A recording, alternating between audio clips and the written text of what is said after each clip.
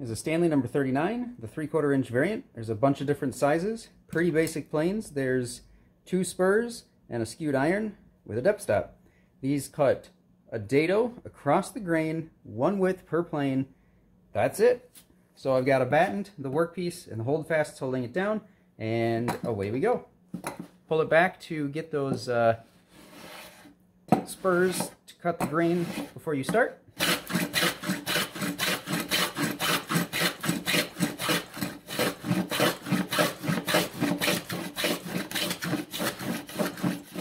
Once you hit the depth stop, you're done.